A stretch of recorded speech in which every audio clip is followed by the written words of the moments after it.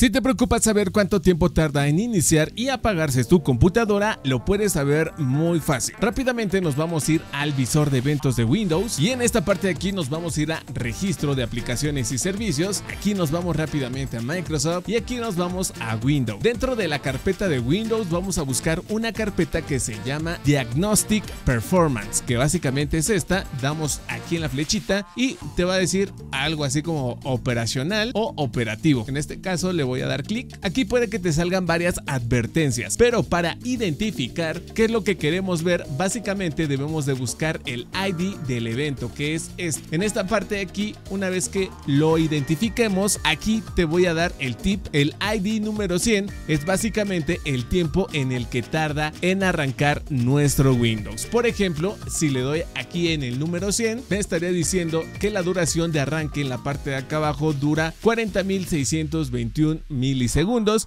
Si lo convertimos a segundos, básicamente estamos tardando 40 segundos en iniciar en este equipo. El número 200 es para ver cuánto tiempo tarda en apagarse. Así que aquí nos está diciendo que el cierre de nuestro Windows tarda aproximadamente 18 segundos. Si hacemos la conversión, 18.7 segundos.